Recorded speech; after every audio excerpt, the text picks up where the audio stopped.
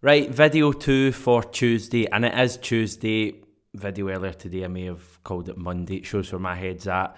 But my day got a little bit better because we got the opportunity to speak to David Turnbull. You know the script by now, Celtic fan media, there are lots of them. We're part of it. We were there. I got to ask David Turnbull a question. You'll get to hear the question, what he had to say, and all the other stuff that went on during the fan media conference. And you'll even get to hear the questions that were asked today as opposed to what happened late last week. So it's quite a quick press conference. It started about three o'clock. It was over by quarter past three, but still great to hear from David Turnbull. Have a wee listen to what went down during the press conference, and then afterwards we may have a little surprise for you. Not a big one, just a wee one.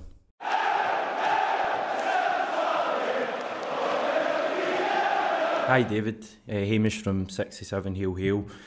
Um, you know, the Celtic fans have found out a lot about um, the manager and uh, you know the hard work he's put in in the training ground. But I wonder if you'd give us an insight into what he's like as a person, have you had a one-on-one conversation with him yet?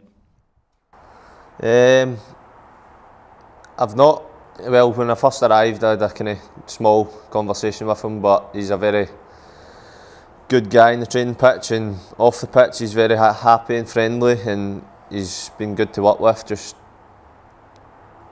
implementing his own ideas and kind of getting everybody to work to 100% every day. It's, it's been great so far. So we saw a glimpse of training with Ange when he was mic'd up a couple of weeks ago. Can you give us any further into, insight into what he's like as a coach, what he's like on the training pitch, and what key differences he's implemented since taking charge compared with last season? Yeah, he's been brilliant since I've come in, joined up with the boys. Training every day has been brilliant. Um, he's tried to implement his own game game plan and how he works a team on the pitch and kind of just gives you wee tips here and there and in the team meetings kind of tells us before the games what he'd like us to do and it's it's, an, it's a good style of football and hopefully it'll continue and hopefully everything works out.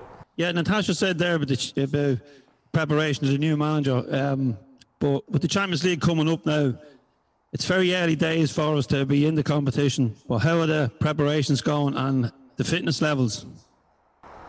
Yeah, they're going well. Uh, it's been a great camp this past kind of week to 10 days um, with a few games in between and obviously a game to finish um, tomorrow. So I think that will stand us in good stead getting into uh, the cha first Champions League qualifier and a lot of the boys are kind of looking fit and, and ready for it. And do you think there's a has he got a fair idea of who is going to be his starting 11? Um, that's probably down to him to choose. Um, I don't know what he's thinking, but whatever he chooses, I'm sure we'll go out there and um, give it our best. Uh, obviously, last season was quite disappointing, but you were one of the highlights of it. Um, get into this season, what is your hopes and plans to develop even further as part of the team? Um, this season, it's just try to go one further than last year. Um, obviously, as you said, it was great on a personal level last year, but um, it's just about kind of kicking on for that now personally and then bringing more to the team and just gelling as a team together and kind of getting results every week and we have to grind them out if we're not playing our best we need to do that but um, that's probably the aim just going into the season full of confidence and play our way through it. Um, I wonder if um, get your thoughts on um, the, the, the situation with a professional footballer missing a penalty kick um, and being subjected to horrible racist abuse on social media by his own supporters. Um, yeah, obviously it's not fair on anybody. Um, it's a kind of game of football at the end of the day. Everybody gets these opportunities and sometimes sometimes they go in, sometimes they don't and I don't think any of that racism and abuse towards any of the players should be should be right in kind of this day and age. Suppose as fans we're watching these friendlies, we're looking for uh, cohesion. We're looking to see, you know, what we can see from the outside. In terms of you as a player, on the inside, there's a lot of things being squeezed into the number of weeks that Ange and yourselves have had to prepare. Have these friendlies uh, led to you being able to get to know each other and sort of coalesce a lot better? I mean, as a group as a group of players, and and is that something Ange is very much on top of? Yeah, the full camp and the friendlies. It's about bedding in new players. A few of the new boys have come in. They've looked looked very good, and Um, it's just try to get everybody gelling together through the games, and I feel that he's kind of brought that as well. He wants everybody to kind of talk on the pitch and uh, just show for the ball, whatever, and off the pitch. Just it's been great, really. Everybody's been getting to know each other and kind of spending time together. Yeah, one of the things we've noticed, I think a lot of us have noticed, is that you're working on this don't stop attitude that he has, which I think is exciting us. So it's great to see, man. And then for a player like you, I think that's right up your street. yeah, it's for what he's been saying. I've liked what I've been hearing. Um, obviously, for attacking players, it's good to hear. Just going to try to express yourself, and if you give the ball away or you make mistakes, uh, it's about how you react and win the ball back. Hi, David Martin from 20 Minute Tims here. After you had a good season last season and coming into Ange and his new philosophy, how do you think you fit into that and what improvements do you feel you need to make to your game to improve to get in his team all the time? Um, yeah, I, think I fit into it. I'm an attacking player and I like to try go forward with the ball and create plenty of chances and for the team it's just I think for myself he's liking he's wanting boys to show their reaction if somebody gives the ball away and just about kind of getting back into position quicker and just kind of wee things like that. I think I, I need to improve on a wee bit, um, but I'm sure that will come. Hi David, uh, Paddy here from uh, the Celtic Exchange podcast. Thanks for taking the time for today. Um, just first of all, just obviously looking back in last season, we obviously seen how hard it was with what, obviously a lot of the COVID practices in place. Um, are you starting to see that this season, uh, uh obviously with pre-season, boys, that, players that joined last year, do you feel that they're now getting the benefit of a full pre-season, and, and even yourself included? Are you starting to see obviously the fruits of that labour? Is that the, the club starting to kind of gel for the season ahead so far? Yeah, last year for everybody was tough. Um, I've also came to Celtic and COVID's that's been a thing ever since, and it's been a hard thing to deal with.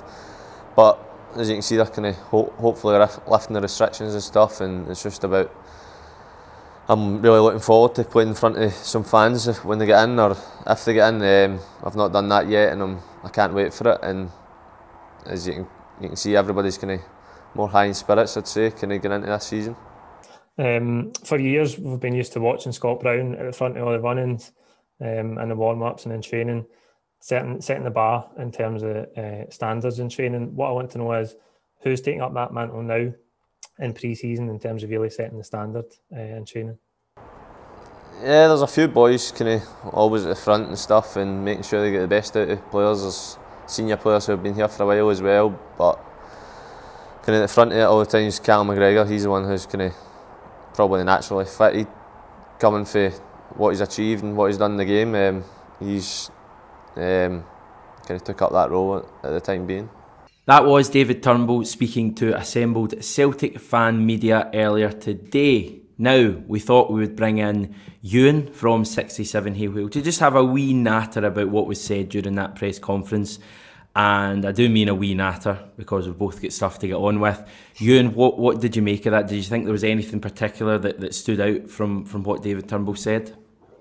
Uh, a couple of wee things, yeah. Um, I, first of all, would be the sort of leadership issue. Um, you know, the way he talks about Callum McGregor with such kind of, I don't want to say reverence, that sounds a bit far, but like there's the respect he obviously has for him. Uh, I'd kind of taken up the Scott Brown role uh, at training in the dressing room, so that was good. Um, and yeah, I just thought it was kind of weird that like, uh, yeah, he was player of the year, but he didn't actually play in front of any fans last last season. That was something he reflected on. Um, he's not obviously the most outrageous guy. He's not, you know, um, he, he's quite straightforward, and I mean that in the best way. Uh, but yeah, it was, it's good, and it, it's good that this is sort of becoming a norm where you know fan media gets to speak to players, and you know can't complain about that at all. So no, all good. Yeah, no, it was definitely, as I said earlier, it was a really short press conference. It probably only lasted about a quarter of an hour, but there was certain wee nuggets in there, um, you know, to take from. He said the players are looking fit and ready. Now, obviously, you wouldn't expect David Turnbull to say anything but that, but that's still, you know, something to note. He said that Ange Postecoglou is happy and friendly. That's a direct quote off the pitch, and that he's fun to work with. So, again, that's not something you would necessarily Um, you know, not expect to hear the a, player say of his manager, but it does seem like there's quite a decent, happy environment at the club at the moment. Um, a bit I wanted to pick up on, he said, uh, and again, this isn't you know anything new, but he said Postecoglou really wants the players to show their reaction if and when they lose the ball, and Turnbull actually said that's something he feels he has to improve on. Do you think David Turnbull will have any issues adapting to that? Has he has he got the, the engine needed to play in an Ange Postecoglou team? I would think so. Yeah, uh, I think this preseason is going to be really good for him in that regard because I mean, he's not. You, you could sort of predict with quite you know uh, with reliability that Tom Rogic, for example, would come up would, would come off after 60, 70 minutes, and it was a similar kind of theme last season in a sense. Uh, David Turnbull wouldn't wouldn't often you know finish matches, but um, whether or not he's needed to finish matches, as long as he can keep up a decent level of intensity for a good hour, 70 minutes, and we've got really good production out of him, um, but yeah, I think he'll adapt just because he has that determination to. Um, and you know, obviously, a year working with the fitness coaches at Celtic, and um, that you know, no, no disrespect to Motherwell, but obviously the facilities, the level of, of training that he gets to Celtic is going to be a higher standard. So, um, yeah, you would have thought he'd be able to adapt to it. I think he could be really key under Ange Postecoglou, to be honest. A good summer for him. Went away to the Euros with Scotland. Mm-hmm. But there must be a bit of frustration in there that he wasn't able to, to get on the pitch for for any match in the Euros. I think I'm right in saying that, and uh, that that must be a bit of motivation for him going into this season. Surely that he that he if he plays for Celtic, plays well for Celtic first and foremost, he can edge his way into the international setup as well. He was definitely our best player last season. I was even trying to think of anyone else who came close. Probably someone like Kristoffer Ajer, you would maybe say was was a decent player and played the full mm-hmm. season. But in terms of impact he had, David Turnbull was was excellent last season. You just hope that you hope that he's able to do it in a good team as well. And I know that might sound a daft thing to say because you would assume yeah. automatically if you're playing well in a bad team, you could do it in a good team. But we've had a lot of players in the past. James Forrest used to be, I'm talking eight, nine years ago, used to be a great player when Celtic were struggling, but when Celtic were playing well, he didn't necessarily play as well. So I'm really hoping that David Turnbull can still be our main man, hopefully in a winning Celtic team this season.